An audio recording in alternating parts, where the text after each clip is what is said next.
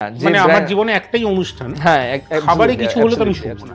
শোটা এখন important LED setups tables counter tables সুন্দর ব্যাঙ্কুয়েট চেয়ার্স ভাইব মানে এখন মেন হচ্ছে ইনস্টা ওয়ার্ডি ওয়ার্ডসগুলো ভাইব ইনস্টা ওয়ার্ডি বিয়ে বাড়ি। হ্যাঁ, আচ্ছা ইনস্টা। ওয়ার্ডি কেটারিং বাগদা বিং টেস্টিয়ার অনেক বেশি নেগলেক্টেড দেন গলদা কিন্তু যেহেতু গলদার মাথা মোটা দেখতে বড়।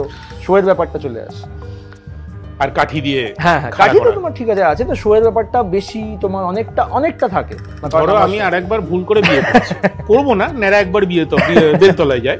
বা আমার ছেলে বিয়ে করছে। হ্যাঁ, কি কি ছেলে। পয়েন্ট ভূত। ভূত। ভূতর কি কি পয়েন্ট দেখব?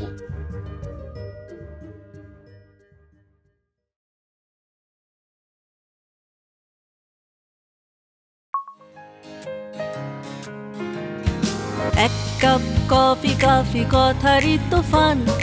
এই টেবিলে সবই আছে খেলা থেকে গান। আমাদের গল্পের সবই হবে হিট। কারণ সঙ্গে আছেন অতিথি এবং ইন্দ্রজিৎ। বিয়ে বাড়ির সিজনে বাঙালি বা ভারতবাসীতে আমরা আর কিছু মনে রাখি না রাখি? কি খেয়েছি এটা মনে থাকে? আর ঠাকুর নিয়ে খাবার ব্যবস্থা আজকাল খুব একটা হয় না। মানে আমার বিয়ের সময় প্রাগৈতিহাসিক যুগ, তখন থেকেই কেটারিং ঢুকে গেছে। কেটারিং কোম্পানিতে কি হয়? এক। দুই, যখন পূর্বপুরুষের ব্যবসা আরেকটি ছেলের হাতে আসে, আমরা দুটো জিনিস শুনি। বাবা সব করে গেছিল, তুই কি করছিস? আর খারাপ হলে তো পুরো ব্যবসাটা ছিল হাতে ধরে নষ্ট করে দিল। এই দুটি বিষয় নিয়ে কথা বলব। সুইট অ্যান্ড সাওয়ার কেটারিং যেটা প্রায় তিরিশ পঁয়ত্রিশ বছর ধরে চলছে, তার আরণ্যকের সঙ্গে। আরণ্যক ওয়েলকাম টু এবং ইন্দ্রজিৎ। আরণ্যক একটা কথা বলো। ধরো তোমার বাবা সুইট অ্যান্ড সাওয়ার কেটারিংটা শুরু করেছিলেন। কবে? মোটামুটি? নাইনটি থ্রিতে এমনি শুরু হয়েছিল বাট অফিসিয়াল রেজিস্টার সব জায়গায় নাইনটি ফোর চুরানব্বই। তিরানব্বই চুরানব্বই কোনো একটা সময়। তোমার কত বছর বয়স তখন? আমার বার্থ ইয়ার তিরানব্বই বার্থ ইয়ার আমার। অনেক ছোট তো। হ্যাঁ মানে তখন থেকেই চালু। তুমি কবে ঢুকলে? এটা একটা টাফ কোয়েশ্চেন কারণ আমি নিজে জানি না যে আমি ঠিক কবে ঢুকেছি। কারণ আমি জন্মেছি একটা বিজনেস ফ্যামিলিতে সেখানে সারাক্ষণই বিজনেস ওরিয়েন্টেড জিনিসপত্র দেখেছি। কীরকম? মানে ফর এক্সাম্পল আমাদের বাড়ির ডাইনিং টেবিলে লোকেদের বাড়ির ডাইনিং টেবিলে লোকেরা খাবার খায় লাঞ্চ ডিনার করে। হ্যাঁ। আমি কোনোদিন ডাইনিং টেবিলে খাবার খাইনি আমরা সবসময় ঘরে খেতাম। তার কারণ ডাইনিং টেবিলটা ভেন্ডারদের আসা যাওয়ার জায়গা ছিল। সমস্ত পেপার ওয়ার্কস ভেন্ডার পেমেন্টস সমস্ত কিছু ডাইনিং টেবিলেই হতো। মানে তখন জাস্ট স্টার্ট আপ কোম্পানি একটা তখন তো কোনো অফিস টফিস ছিল না। তখন আমাদের ডাইনিং হলটাই আমাদের অফিস ছিল। আচ্ছা। তো ওখানেই লোকেরা আসতো সে মাটন ফিশ হোক সার্ভিসের চার্জ হোক যাই হোক ওখানেই আসতো ওখানেই ডিসকাশন হতো। ওখান থেকেই পেমেন্ট বাগেরা পেপার ওয়ার্ক সব ওখানেই হতো। তো এই সিচুয়েশন নিয়ে আমরা বড় হতাম। ধরো কোনো দিন কোনো ইভেন্ট কনফারেন্স চলছে ডার্মাকন ন্যাপকন এর যেগুলো বড় লেন্থের কনফারেন্স হয় সেখানে তিন চার হাজার ডাক্তার। তো এবার তিন চার হাজার? তিন চার হাজার ডাক্তার। আচ্ছা। তো এবার কোনো কারণে শর্টফল হয়েছে কোনো কিছু বা মাল এক্সট্রা রাখা ছিল তো ফ্রিজ খুলে দেখতাম একশো পিস আইসক্রিম একশো পিস মিষ্টি দই তো আমার ওগুলো নর্মাল লাগতো। তো ইয়ার কি হচ্ছে নাকি? ফ্রিজ খুলে একশো পিস আইসক্রিম কারণ তখন ডিপ ফ্রিজও আমাদের এত ছিল না যেগুলো এখন আলাদা একটা স্টোর রুম আছে খালি রেফ্রিজারেটরসের ওখানে তোমার সমস্ত কিছু রাখা থাকে। তখন তো স্টার্ট আপ কোম্পানিতে এত কিছু ছিল না তখন নিজেদের ফ্রিজে যেগুলো স্টোর হতো আমাদের বাড়ির রান্নাবান্না বাইরে থাকতো তো আমার ওগুলোই নর্মাল লাগতো। তো কবে আমি ঢুকেছি সেটার এক্স্যাক্ট আনসার আমার কাছে নেই। যখন একটু একটু করে বড় হয়েছি একটু একটু করে গ্র্যাজুয়ালি কাজের মানে ওয়ে অফ ওয়ার্কটা আলাদা হয়েছে। যখন ছোটবেলায় তখন পেপার ওয়ার্ক টুকটাক হেল্প করতাম। কীরকম? মানে ধরো কোনো মেনু একটা গুছিয়ে লিখে দেওয়া কোথাও বা কিছু স্টক ফক লিখে টিখে দেওয়া জাস্ট নর্মাল পেপার ওয়ার্ক যেগুলো না বুঝে জাস্ট অনেক কটা কাগজে অনেক জিনিসপত্র লেখা থাকতো সেটা আমার কাজ ছিল অ্যাসেম্বল করে একটা পেপারে লেখা। আচ্ছা। এই টাইপের কাজগুলো আমি ছোটবেলায় করতাম যখন। ওভার টাইম যখন আরেকটু বড় হলাম তখন টুকটাক এমনি সাথে যাওয়া ইভেন্ট কি সেটা বোঝা এইগুলো নর্মালি যেতাম ফর ফান এরকম না যে কোনো কাজের জন্য যেতাম বা আমাকে যেতে বলতো। অফ ডে থাকলে এমনি মা যেত বাবা যেত আমি ভাবতাম ওরা ঘুরতে যাচ্ছে আমি ওদের সাথে যাই সেই হিসেবে আমার যাওয়া। মানে এটা বিয়ে বাড়ি ঘুরতে হ্যাঁ একটা বিয়ে বাড়ি ঘুরতে যাচ্ছি। বিয়ে বাড়ি জিনিসটা ইজ অ্যাকচুয়ালি আমার কাছে খুব কমন একটা জিনিস। মানে আমার বিয়ে বাড়ি দেখে নর্মাল লোকের যে এক্সাইটমেন্টটা আসে আমার আসে না কারণ আমি জন্মে থেকে কিছু না হলেও দশ হাজার বিয়ে বাড়ি দেখে এসেছি। দশ হাজার হ্যাঁ, হ্যাঁ। মানে স্বাভাবিক। হ্যাঁ তো এবার সেই জন্য আমার বিয়ে বাড়ি জিনিসটা নিয়ে খুব একটা ইয়ে লাগে নর্মাল লাগে খুব মানে ডেইলি রুটিনের মধ্যেই লাগে জিনিসটা। আর একটু যখন বড় হলাম তখন কলেজ চলে স্কুলের এন্ডে বা কলেজের দিকে যখন একদিনে পাঁচটা ছটা ইভেন্ট থাকতো তখন কোনো একটা ইভেন্টে বাবা পাঠাতো অ্যাজ নর্মাল সুপারভাইজার এখন তো যাই ইনচার্জ হিসেবে বা এখন রোটেশনে থাকতে হয় কারণ আমারই তিন চারটে ক্লায়েন্ট থাকে। তখন জাস্ট সুপারভাইজ করতে যেতাম।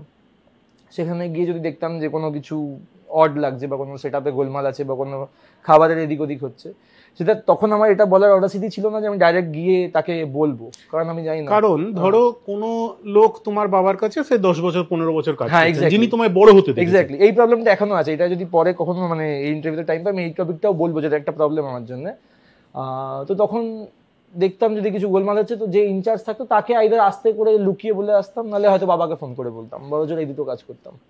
তো এরকম করতে করতে আমি প্যারালি আইএমএ পড়তাম। তো প্যারালি আমার থার্ড ইয়ারে প্লেসমেন্টে টিসিএসে চাকরি হয়ে গেছিল। আমি জয়েনও করে গেছিলাম ওখানেও কাজ করতাম ভালোই লাগতো। দু তিন বছরের মধ্যে আর্লি প্রমোশন পেয়ে আমার একটা অনসাইট অপরচুনিটি হলো কিন্তু আমি একটু ঘর কোনো টাইপের তো আমি যেতে চাইনি শুরুতে। মানে তুমি খুব টিপিক্যালি একটা সফটওয়্যারের কেরিয়ারে ঢুকেছিলে। একদম। আচ্ছা। প্যারালি আমার বিজনেস সবসময় ছিল কিন্তু আমি কতটা বিজনেসে ঢুকবো ঢুকবো না এগুলো নিয়ে আমি কিছুই কোনোদিনও ভাবিনি। মানে অনেকে যেমন থাকে না শুরু থেকেই সর্টেড যে আমি বিজনেস করব। তো হঠাৎ মানে। রাত্রিবেলা স্বপ্ন দেখলে? না এবার ওটাই আমি বোঝাচ্ছিলাম যে বিজনেসটা মোস্ট প্রবলি ইনহেরিটেড ছিল। কোনো সময় এটা নিয়ে আমি আলাদা করে ভাবিনি যে আমি কোনো ব্যবসায় আছি ব্যবসা করছি এরকম না। ওটা আমার লাইফের একটা পার্টি ছিল। যেহেতু জন্মে থেকে আমি সুইট অ্যান্ড সার এই ব্র্যান্ডটা দেখেই আমি বড় হয়েছি। সব জায়গাতেই বাড়ির পাঁচটা কাগজের মধ্যে প্রত্যেকে একটা সুইট অ্যান্ড লেখা থাকতো। প্রত্যেক একটা জায়গায় লোগো থাকতো। সব জায়গায় একটা আমাদের প্লাস্টিক মানে যেটা তোমার গেস্ট পার্সেল বা ড্রাইভার পার্সেল ওই প্লাস্টিক্স থাকতো। তো আমি ওটা সব জায়গায় দেখতাম। তো ওটা আমাদের নামের আর কি সারনেম টাইপের হয়ে গেছিল। তো সেই জন্য ওরকমভাবে ডিসাইড তো করিনি যে এটা করব, ওটা করব। কলেজে পড়তেই হবে। পড়াশোনা না করলে বাড়ি থেকে বকা দেবে। অলদো পড়াশোনা করতে খুব ভালোবাসতাম এরকম নয়। পড়াশোনা করতে কেউ ভালোবাসিনি আর না আমি সারা জীবন পড়াশোনা করতে না না তাও অনেক বন্ধু বান্ধব হয় যারা খুব মানে যারা অনেক দূর দূর অব্দি পড়াশোনা তারা দেখায়। জেনুইনলি জেনুইনলি অনেক আচ্ছা। পড়াশোনা টড়াশোনা ভালো করতো। তো আমার অত ইয়ে ছিল না। খেলাধুলাই মেন ছিল। আর যেটুকু না করলে বাড়িতে বকা খাব সেইটুকু অবধি করতাম। করতে করতে চাকরি হয়ে গেল তো চাকরি করতাম। অনসাইট যখন হলো ইউকে বা ইউএস আমার মনে নেই। যখন বলল ভিসা অ্যাপ্লাই করবে তখন আমি বললাম যে আমি যাব না সেটা কোন সালে? এটা তোমার আমি জয়েন করেছি টিসিএস এ প্রায় আট বছর মানে ওই ষোলোর দিকে হবে দু হাজার ষোলো। পনেরো ষোলো এই সময়টা হ্যাঁ ষোলো না আর দু বছর পর আঠেরো আঠেরোর দিকে হবে। হয়তো। তখন আমি ডিসাইড করলাম যে আমি যাব না। তখনও প্যারালি বিজনেস যেমন ইনভলভমেন্ট ছিল সেরকমই ছিল। তো তখন থেকে আস্তে আস্তে ফিল করলাম সোশ্যাল মিডিয়া বুমটা তখন এলো। অলদো তখন কেটারিং এর প্রমোশন কেউ করতো না। কেটারিং এর যে প্রমোশন করা পসিবল বা কেটারিং কটা ব্র্যান্ড আছে এটাই কেউ জানতো না। হার্ডলি দু তিনটে ব্র্যান্ডের নাম লোকে জানতো। ওভারঅল সেগমেন্টে মেবি মুন্না মহারাজ তোমার চিকি মদন যেগুলো বড় ব্র্যান্ডস হয়। বিজলি গ্রিল বিজলি গ্রিল ভোজও তখন তখন যাই না আমি মানে বিজলি গ্রিলটা আমি আমার ছোটবেলা থেকে শুনে হ্যাঁ এরকম যেগুলো ওয়ার্ড অফ মাউথে যেগুলো আইকনিক ব্র্যান্ড হ্যাঁ আইকনিক ব্র্যান্ড যারা কেটারিং এর ক্ষেত্রে তোমার পায়োনিয়ার তাদের নাম জানতাম। তাছাড়া অনেক কেটারিং অনেক মানে তোমার ব্র্যান্ডস কেটারিং করতো। অনেক পাড়ায় পাড়ায় করতো। আছে। হ্যাঁ তাদের ব্যাপারে কেউ জানতোই না। সোশ্যাল মিডিয়া প্রেজেন্সের ব্যাপারে কেউ ভাবতো না জাস্ট রেস্টুরেন্ট ব্র্যান্ডিং মেবি হতো টুকটাক তখনও টুকটাক কোথায় হতো? কমই হতো। তখন থেকে আমার ফিল হলো যে একটুখানি এরকম দরকার অলদো এই আইডিয়াটা আমার ওয়াইফেরই যে আমাদের একটা সোশ্যাল মিডিয়া প্রেজেন্স দরকার। তখন ওয়াইফ তখন ওয়াইফ না তখন তখন হ্যাঁ। আচ্ছা তখন উঠবি wife- ওয়াইফ হ্যাঁ তখন উঠবি ওয়াইফ আচ্ছা কীরকম ভাবে ওই আমাদের আমাকে ফার্স্ট একদিন বলল যে এরকম এই যে লেন্থে কাজ হয় এটা যদি একটু সোশ্যাল মিডিয়ায় দেখানো যায় তাহলে মেবি ব্যাপারটা ব্র্যান্ডিং বেটার হবে। তাহলে মেবি ধরো বছর তিরিশেক আজকে সুইট অ্যান্ড সাওয়ার কেটারিং চলছে। নিয়ারলি অন অ্যান অ্যাভারেজ বছরে রাফলি ইফ ইউ ডোন্ট মাইন্ড কটা ইভেন্ট হয়? অফ সিজন ক্যাটারিং এর ক্ষেত্রে দুটো পার্ট হয় একটা সিজন একটা অফ সিজন যেরকম তোমার এটা ট্যুরিজমের ক্ষেত্রে খুব প্রাইমারিলি ইউজ হয় সেরকম ঠিক। এর ক্ষেত্রেও হয়। কারণ ওয়েডিং বাঙালিদের ক্ষেত্রে যদি বলো বাঙালিদের ক্ষেত্রে শীতকাল ছাড়া জেনারেলি বাঙালিরা খুব একটা বিয়ে করতে ইন্টারেস্টেড থাকে না। আইদার তারা প্রপারলি বাঙালি আর না যদি এনআরআই ক্লায়েন্টস হয় যারা বাইরে থাকে সেটেলড এখানে জাস্ট আসে বিয়ের জন্য তাদের ক্ষেত্রে যে কোনো সময় হয়। তো দুটো সিজনে দুটো পার্টে ভাগ করা থাকে। একটা সিজন একটা অফ সিজন সিজন টাইমটা হচ্ছে তোমার নভেম্বর টু এপ্রিল এই ছ মাস। আর মে টু পুজো মানে অক্টোবর এই টাইমটা টিপিক্যালি অফ সিজন টাইম এই টাইমে অত কেটারিং তোমার হয় না। যে কোনো কারোর ক্ষেত্রেই যে কোনো ব্র্যান্ডের ক্ষেত্রে অত হয় না। সিজনে এই ছ মাসে অন এন অ্যাভারেজ আমাদের থাকে ধরো ওপর নিচ দেড়শো থেকে দুশো events without corporate without corporate দেড়শো থেকে দুশো ইভেন্টস থাকে এই ছ মাসে। কর্পোরেট ধরলে কর্পোরেট ধরলে ধরো কাউন্টটা এদিক ওদিক হবে কারণ কর্পোরেটের কোনো ঠিক থাকে না। ফর এক্সাম্পল ধরো তোমার রিসেন্টলি আমি বলছি দুটো এক্সাম্পল একটা হচ্ছে তোমার ন্যাশনাল ডেন্টাল কনফারেন্স ছিল। ওখানে তোমার ডিনার ছিল তিন সাড়ে তিন হাজার মতন। তিন সাড়ে তিন হাজার? হ্যাঁ। আচ্ছা। আর তার একদিন দুদিন আগে ছিল আবার তাদের সাতশো কি হাজার লোকের ককটেল একটা। দুদিনের এরকম একটা চক্কর। ওয়েরাজ তোমার এই জাস্ট কালকে শেষ হলো কাল মানে সানডে শেষ হলো তোমার ন্যাশনাল তোমার টেবিল টেনিস চ্যাম্পিয়নশিপ সেটা তোমার চলল দশ দিন ধরে। দশ দিন চার বেলা ব্রেকফাস্ট লাঞ্চ স্ন্যাক্স ডিনার চারশো করে টেবিল টেনিস প্লেয়ার ন্যাশনালে আমি যতদূর শুনলাম বাংলা থেকেই জিতেছে আমি একদিনও যেতে পারিনি শিডিউলের জন্য বাট দশ দিন ধরে ওটা চলল। তো ওটা কাউন্টে আনা মুশকিল। এবার তুমি যদি সেটাকে কাউন্টে নিতে চাও তাহলে তোমার সেটা চল্লিশটা ইভেন্ট হচ্ছে প্র্যাকটিক্যালি কারণ দশ দিন চার বেলা করে। মানে আড়াইশো ইভেন্ট প্রায়। হ্যাঁ এবার ওইটা কর্পোরেট হ্যাঁ মানে বলাটা খুব মুশকিল। হ্যাঁ ওয়েডিং এর ক্ষেত্রে তোমার ধরে রাখা যায় সিজনে ছ মাসে দেড়শো থেকে দুশো অন অফ তাহলে এবার একটা আমায় কথা বলো এই ধরো একদিনে তো নিশ্চয়ই প্যারাল ইভেন্টস হয়। একদিনে আমরা ম্যাক্সিমাম ছটা ইভেন্ট কেটার করি। ছটা event as sweet and sour brand কি করে ইনশিওর করো যে প্রত্যেকটা জায়গায় ভালো খাবার যাচ্ছে? সেট যেটা হয় সেটা আমাদের নিশ্চয়ই তুমি ছটা জায়গায় ঘোরো না না আমরা বা ছটা জায়গায় ছটা জায়গায় ঘোরেন না। না আমরা ছটা জায়গায় ঘুরি না। আমাদের টোটাল সাতখানা টিম থাকে। আচ্ছা। পার টিম একশো জনের হয়। সাতখানা টিম একশো জনের টিম একশো জন করে সাতখানা টিম হয়। পার টিমে একজন ইনচার্জ থাকেন তার আন্ডারে যিনি ক্যাপ্টেন তার আন্ডারে আলাদা ম্যানেজার থাকেন ground manager floor manager guest manager kitchen manager dinner plate manager এরকম আলাদা ম্যানেজার হয়। এইরকম সাতটা সাতটা করে সেট মানে সরি একটা সেট হলো এরকম টোটাল সাতখানা সেট থাকে। এবার যে যে তোমার শেফ ডিস্ট্রিবিউশন ফর এক্সাম্পল সবচেয়ে পপুলার আইটেম যদি ধরা হয় আমাদের বাঙালির ক্ষেত্রে বিরিয়ানি কাবাব। বিরিয়ানি। মাটন বিরিয়ানি। তো এরকম সিমিলারলি বিরিয়ানি সাতজন আটজন করে শেফ থাকে। সেম গ্রুপের বা আলাদা আলাদা গ্রুপের কাবাব বাবাবের সাতজন আটজন করে শেফ থাকে তাদের সেভাবে অ্যাসাইনমেন্ট দেওয়া হয়। প্রত্যেক কটা জিনিসের সাতটা থাকে ছটাকে রাখা হয় ফর সিক্স ইভেন্টস একটা টিম রেডি থাকে ব্যাকআপের জন্য। ব্যাকআপ মানে? যদি কোনো জায়গায় কোনো এমপ্লয়ি ধরো কোনো ম্যানেজার সে ডিলে করছে বা আসতে পারবে না কোনো কারণে তার কোনো ধরনের প্রবলেম আছে বা কোনো জায়গায় কোনো ধরো দূরে কাজ ফর এক্সাম্পল কিছুদিন আগে বর্ধমানে কাজ হচ্ছিল বা মালদায় কাজ হচ্ছিল তো সেখানে একটা ট্রান্সপোর্টেশনের ব্যাপার থাকে। তো সেক্ষেত্রে ধরো কারোর একটু ডিলে হবে বা হবে না সেক্ষেত্রে তখন ব্যাকআপ টিমটাকে ইউজ করা হয়। ওকে ঠিক আছে। এটা গেল স্টাফিং এক কোয়ালিটি জিনিস হিসাবে এটা কি করে ইনশিওর করো? কোয়ালিটি অ্যাসিওরেন্সের ক্ষেত্রে যে তোমার গেস্ট ম্যানেজার বা গ্রাউন্ড ম্যানেজার থাকে তাদের ওপর রেসপন্সিবিলিটিটা থাকে। কারণ আমার লেট মি রিফ্রেম নিশ্চয়ই অত কুইন্টাল মাছ রোজ সকালে তোমরা গিয়ে কেনো না? রোজ সকালে কেনা হয়। আচ্ছা। রোজ সকালেই কাটা হয় মার্কেট থেকে। সাপ্লাই চেনের জন্য আলাদা টিম আছে। সাপ্লাই চেন কীভাবে ম্যানেজ হয়? তাদের যে টিমটা আছে প্রত্যেক দিন রাত্রিবেলা ধরো পরের দিন তোমার ছটা ইভেন্ট ঠিক আছে?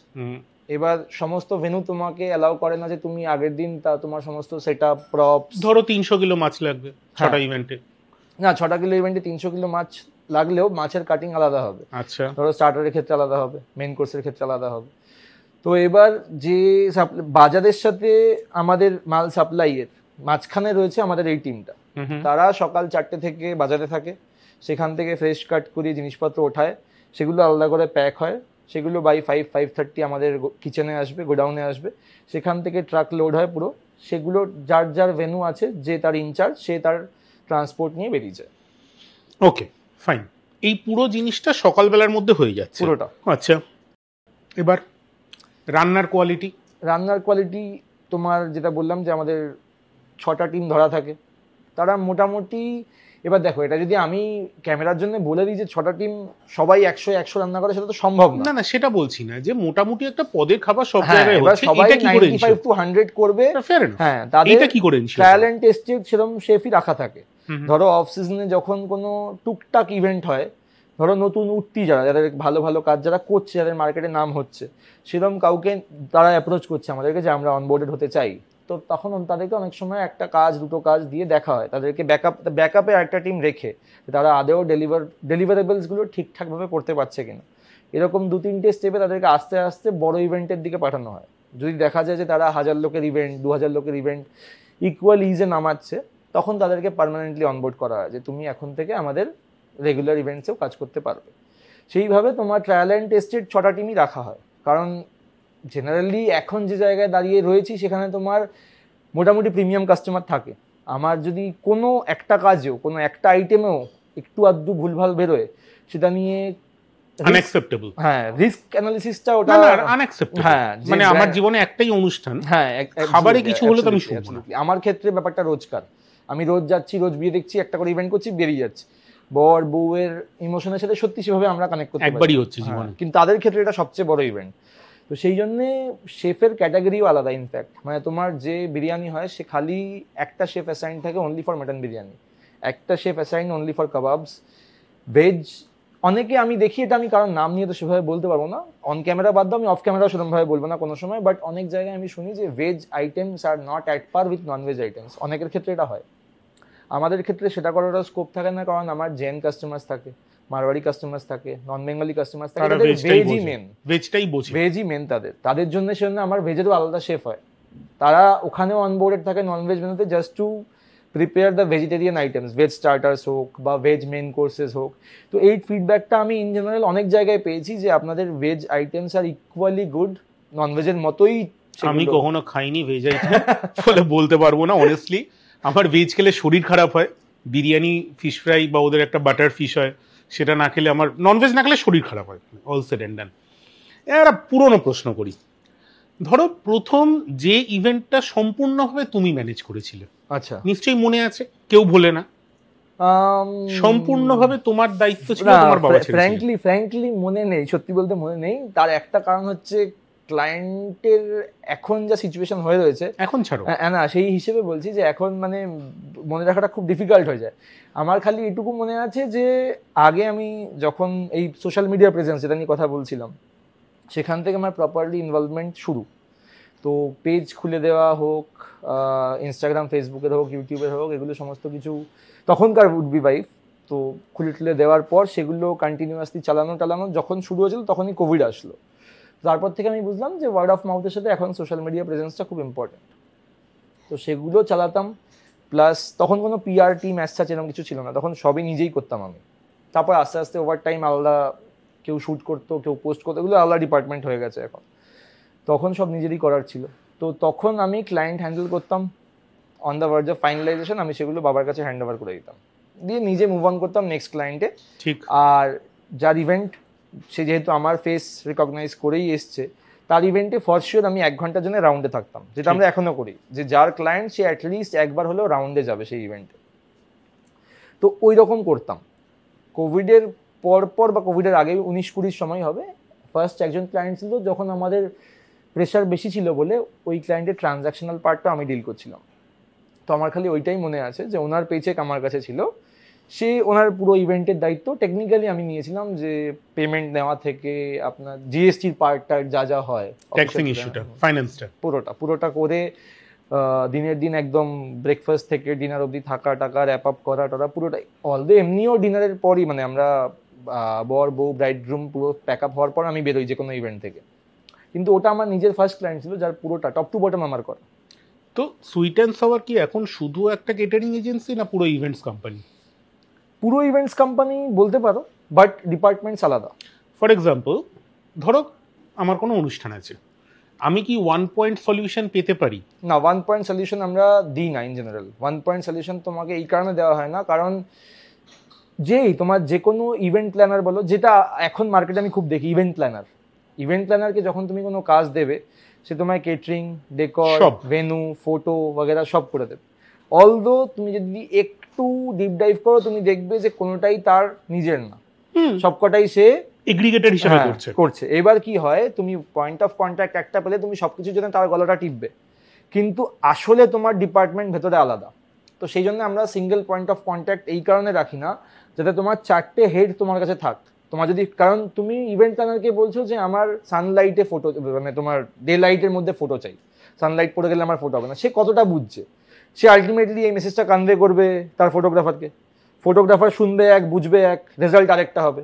তার থেকে ডাইরেক্ট যদি সে ফটোগ্রাফি হেডের সাথে কথা বলে, তাহলে তার ইজিয়ার সলিউশন হবে ব্যাপারটা। সেই জন্য আমরা চারটে আলাদা পয়েন্ট অফ কন্ট্যাক্ট দিয়ে দিই। যে আপনার ফটোগ্রাফির জন্য আপনি এইখানে কথা বলবেন ডেকোরের জন্য আপনি এখানে ইলেকট্রিক্যাল ফ্লোরাল এসবের জন্য এটা ভেনুর জন্য আপনি এখানে কথা বলবেন কেটারিংয়ের জন্য আপনি এখানে কথা বলবেন। পার ডিপার্টমেন্ট একটা করে আপনার কাছে স্টক আছে, সেই ওয়াইজ আপনি কথা বলবেন যাতে আপনার রিকোয়ারমেন্টস গ্যাদারিং পার্টটাও ইজিয়ার হয় রেজাল্টস বা প্রোডাক্টিভিটিটাও বেটার হয় আপনার। অ্যাভারেজ আমরা একটা বাঙালিদের যেটা জেনারেশনাল বিজনেস যে বাবার থেকে ছেলের বা দাদুর থেকে বাবার আমরা শুনে থাকি ভালো করলে বলে সবই তো করে গেছিল তুই আর কি করলি? রাইট আর খারাপ করলে বলে যা করে গেছিল সব ডুবিয়ে দিলি। কখনো ফেস করেছ এই বস্তুটা? হ্যাঁ হ্যাঁ হ্যাঁ এটা হয় বাট নট দ্যাট কি এটা আমি আমার ফ্যামিলি মেম্বার্সের থেকে শুনি। না এরকম হয় না যে আমার আমি একটা জিনিস যেটা আমাদের এরকম নয় যেটা আমার আমার বাবার বা আমার সবার আমার এটা না না আমাদের বিজনেসটা এন্টায়ারলি অনেক ফ্যামিলি মেম্বার্স আছে এর মধ্যে। আমি আচ্ছা। আছি বাবা আছে মা আছে টু সাম এক্সটেন্ট আমার ওয়াইফ থাকে আমার জেঠু আছে মেশো আছে আমার ছোটবেলার সবাই আছে। সবাই আছে এর মধ্যে। এটা জাস্ট টু সুপারভাইজ এরা প্রত্যেকটা ইভেন্টে আমরা কোনো না কোনো ফ্যামিলি মেম্বার পাঠাই জাস্ট টু সুপারভাইজ তো আমি এদের থেকে তো কখনো এই ফিডব্যাকটা পাইনি তবে হ্যাঁ আমি বাইরে থেকে অনেক সময় শুনি যে যখন ভালো হয় তখন আউটসাইডারদের থেকে অনেক সময় শুনি যে ও নিজে কি করেছে। সব সেট করাই ছিল। ও জাস্ট এসছে এটাকে এনজয় করছে। মানে আরও অনেক ধরনের কমেন্ট শুনি যেটা মেবি অন ক্যামেরা বলা যাবে না মানে হ্যাঁ। শুনেছি নাকি অভিষেক বচ্চনের জীবনে সব হ্যাঁ, থেকে হ্যাঁ। বড় কম্পিটিশন হচ্ছে অমিতাভ বচ্চন? হ্যাঁ হ্যাঁ। না ওরম লেভেলে তো যায়নি। ওরম লেভেলে তো যায়নি but সেটা তো। হ্যাঁ, ওদের এক্সপোজার অনেক বেশি বাট হ্যাঁ তবে টুকটাক এটা আমার কানেও এসছে। আর কোনো ইভেন্ট যদি ঝুলে যায় সেইটা খুব একটা আমি ফ্র্যাঙ্কলি শুনিনি যে আমার জন্য ঝুলেছে। আমাদের একটা আরসিএ থাকে মানে ফ্র্যাঙ্কলি এটা আর এটা কি জিনিস? রুট কজ অ্যানালিসিস তোমার। তোমার আচ্ছা যে কোন- ধরো কোনো ইভেন্টে ফিড ইভেন্ট তোমার ডান ঠিক আছে? তোমার ভালো হয়েছে খারাপ যেমনই হোক তোমার ইভেন্ট পরের দিন তোমার কাছে কোনো ম্যানেজার বা কোনো ম্যানেজার যদি বিজি থাকে পার্সোনালি আমি কল করি। করে আমি পুরো টপ টু বটম ফিডব্যাক নিই যে আপনার আমি খালি ফোনে এটাই বলি যে আপনার ভালো সব লেগেছে আমি জানি। সেই নাইনটি পার্সেন্ট আপনি বাদ দিন কনভারসেশন থেকে। যে পাঁচটা জিনিস বা চারটে জিনিস খারাপ লেগেছে আমায় জাস্ট ওইটুকু বলুন। কারণ উই নিড টু ইম্প্রুভ হলে কি করো? হলে আমাদের আলাদা টিমস ইউজ করি না। ফ্র্যাঙ্কলি টিমস ইউজ করলে বেটার হয়। বাট হোয়াটসঅ্যাপটা মোরাললেস টিমসের মতো ইউজ করা যায় এখন। আলাদা আলাদা সেগমেন্টের গ্রুপ রয়েছে। যে যে গ্রুপে যে যে টপিকে ডিসকাশন হয় মানে ধরো আমি একটা ফিডব্যাক পেলাম যে এটা এরকম হওয়া উচিত। ফর এক্সাম্পল একজন আমাকে সেদিনকে একজন এনআরআই ক্লায়েন্ট ছিলেন উনি বললেন যে আপনার আইসক্রিম পার্লারে প্রত্যেক কটা আইসক্রিমের ট্যাগ দেওয়া উচিত। এবার আমি ভাবলাম যে ঠিক আছে এটাও করা যেতে পারে। আইসক্রিম জেনারেল জেনারেলাইজ পার্লার ওটা একটা যে যেটা ইচ্ছে চাইতে পারে বাট উনি বলছেন যে স্পেসিফাইড ট্যাগও তো আপনাদের দেওয়া মানে এটা স্ট্রবেরি ওটা চকলেট হ্যাঁ এক্স্যাক্টলি যেটা অল দ্য চোখে দেখে বোঝা যাওয়া সম্ভব। হুম। ঠিক আছে ওনার মনে হতেই পারে সেটা তো ক্লায়েন্ট হ্যাঁ তো এবার সেটা নিয়ে যেমন একটা ডিসকাশনের জন্য আমাদের একটা গ্রুপ আছে আমাদের যেটা আর আরসিএ গ্রুপই আছে সেখানে আমরা তখন ওটা নিয়ে বলি যে নেক্সট ইভেন্টে আমরা এটা করে দেখছি যে কি আসে। তো সেগুলো সবকটা জিনিস ইমপ্রুভ করা হয়। মানে আমার একটা নিজের পারসেপশন রয়েছে যেন যুগোপযোগী থাকে ব্যাপারটা যুগের সাথে যেন ব্যাপারটা তাল মিলিয়ে চলতে থাকে। একটু ইভলভ না করলে পিছিয়ে আমি অনেক ব্র্যান্ডকে দেখেছি সেটা নট অনলি ইন মানে ক্যাটারিং সেগমেন্টে না। অনেক সেগমেন্টে আমি দেখেছি যে তুমি যদি ওভার টাইম চেঞ্জ না করো। ব্ল্যাকবেরি উঠে গেছে। এক্স্যাক্টলি অনেক জিনিস আছে এরকম। স্যামসাং এর ফোন এখন স্যামসাং এর ফ্ল্যাগশিপ ফোন কেনে? কিন্তু আগে দশ জনের মধ্যে নজনের তোমার স্যামসাং থাকতো। এখন দশ জনে সাত জনের তোমার আইদার আইফোন নাহলে তোমার অন্য কিছু থাকে। স্যামসাং এর ব্র্যান্ড ভ্যালু অনেক কমে গেছে। তো এরকম অনেক জায়গাতেই দেখি। যেমন মারুতি সুজুকির গাড়ি ধরো। আগে দশ জনের নজনের থাকতো। এখন দশ জনের নজনের কাছে আইদার হুন্ডাই থাকে। নাহলে তোমার কিয়া কিয়া অল্প কদিনে কত মার্কেট করে নিয়েছে।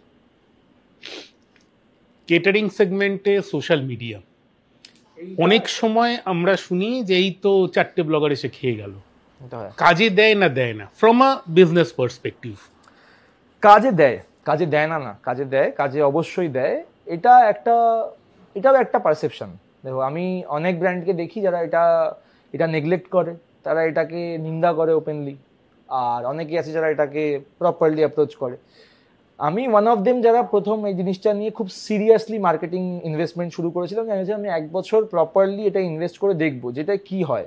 কারণ আমি অনেক মানে কোনো জিনিসে ফর এক্সাম্পল আমি ধরো আগে কোন ল্যাপটপ যখন ছোট ছিলাম সেভেন এইটে পড়তাম তখন কোন ল্যাপটপ কিনবো এটা ডিসাইড করতো শাহরুখ খান আর ঋত্বিক রোশন। ঠিক। ওরা যে ল্যাপটপটার ব্র্যান্ডের অ্যাম্বাসেডার ছিল আমি সেটা নিতাম। আমি দেখতাম না যে ওটা কাজে দেয় না দেয় না। মেন ছিল ওদের নাম দেখাটা। তো কোনো একটা বড় ফেসের কোনো ব্র্যান্ডের সাথে অ্যাসোসিয়েট হওয়াটায় যে তোমার কনজিউমারের ওপর একটা কনজিউমারের পালস চেঞ্জ করে, এটা আমি পার্সোনালি ফিল করি from customers point of view তাই জন্য আমি এক বছর চেয়েছিলাম এটার জন্য যে আমি একটা এই অ্যামাউন্ট আমি চাই, আমার বাজেট আমি এই অ্যামাউন্টটা ইনভেস্ট করে দেখতে চাই যেটা ফ্রুটফুল কিনা। আর আমার ক্ষেত্রে অ্যাকচুয়ালি এটা ফ্রুটফুল আরও না একটা কমন প্রশ্ন, যেটা তোমার সিলেবাসের মধ্যে। ধরো বাঙালি বিয়েতে বা পশ্চিমবঙ্গের মধ্যে কোনো অনুষ্ঠান বাড়িতে তিনটে সব থেকে চালু আইটেম তিনটে সব থেকে চালু আইটেম যদি বলো আমি তোমাকে এমনি বলতে পারি যে এই তিনটে চালু আইটেম ধরো ফর এক্সাম্পল মাটন বিরিয়ানি একটা হলো। সে পাঁচটা তিনটের একটু কম হয়ে যাচ্ছে।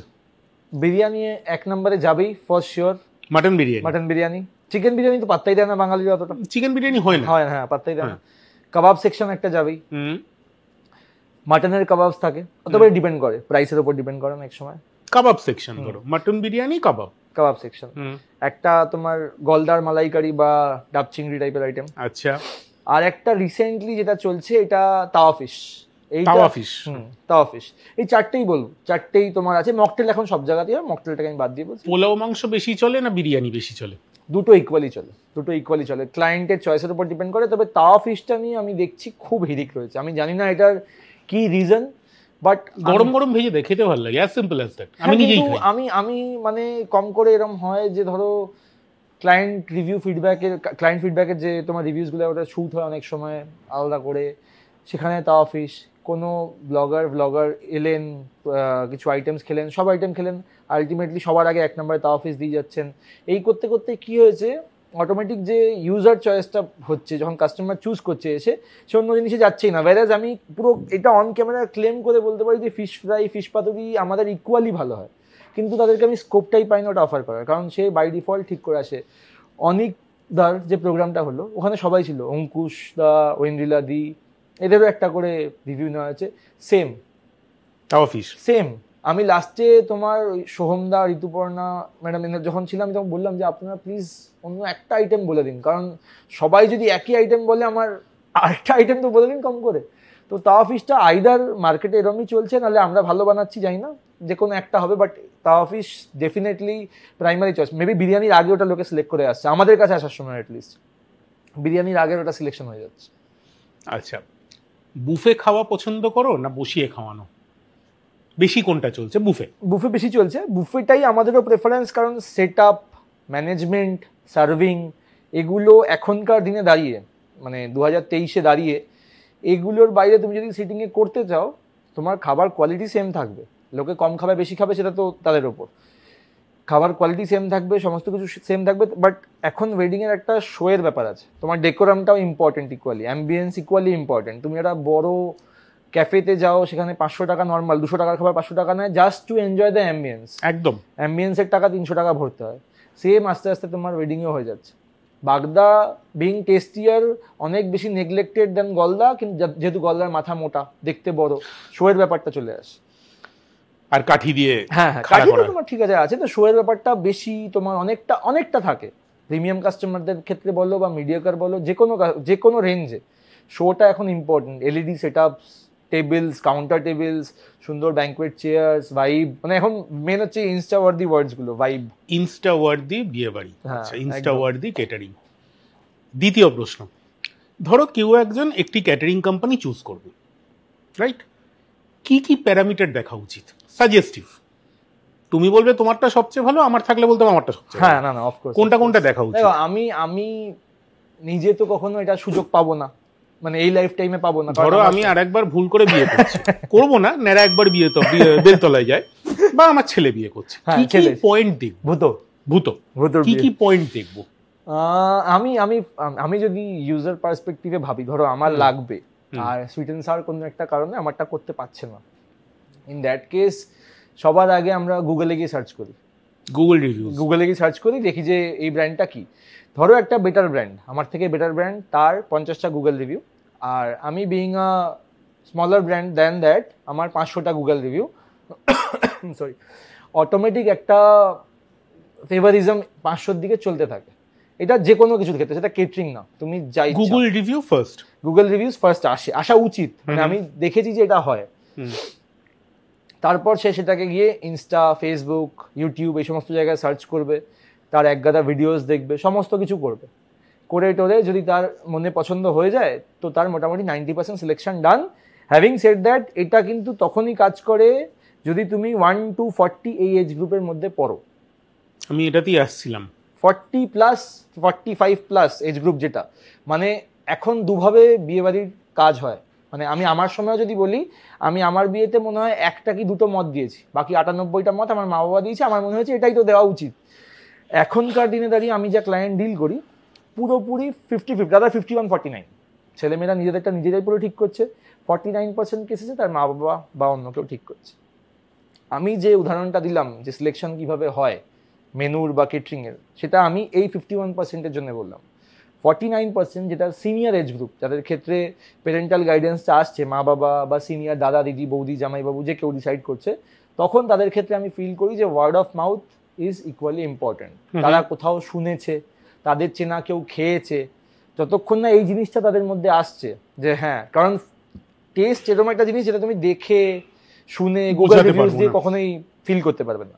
যতক্ষণ তুমি খাচ্ছ বা যতক্ষণ তোমার তুমি বিশ্বাস করো এরকম কেউ খাচ্ছে তোমার রিলেটিভস হোক বা খুব ক্লোজ সার্কেলে তবেই তুমি সেটা বিলিভ করবে যে হ্যাঁ এটা ট্রাস্ট ওয়ার্দি তৃতীয় প্রশ্ন। খুব ভালো কোনো গেস্ট এক্সপিরিয়েন্স খুব ভালো কোনো গেস্টের মানে ওটা এক্সপিরিয়েন্সটা বলাটা একটু ডিফিকাল্ট কারণ আমি এটা একটুও ব্র্যাগ না করে বলছি যে একশোটার মধ্যে নব্বই পঁচানব্বইটা কাজে জেনারেলি খুব ভালো ফিডব্যাক আসে। সবাই বলে। হ্যাঁ হ্যাঁ ঠিক কিন্তু তাও কোনো কোনোটা মনে থেকে যায়। হ্যাঁ। সেরকম একটা ক্লায়েন্টের কাজ ছিল নাম নেওয়া যেহেতু এখানে সম্ভব না আমি নাম নেব না ওনাদের এসআর পার্কে একটা কাজ ছিল সত্যজিৎ রায় পার্কে ওখানে তোমার হাজার জন গেস্টের কাজ ছিল। আমরা কাজটা বিশ্বাস করো আমাদের দিক থেকে কোনো এক্সট্রা এফার্ট বা এরকম কিছু করিনি। আমরা নর্মাল যেরকম কাজ করি, সেরকমই করেছি। One of our best teams allotted ছিল one of our best chef groups management groups assign ছিল।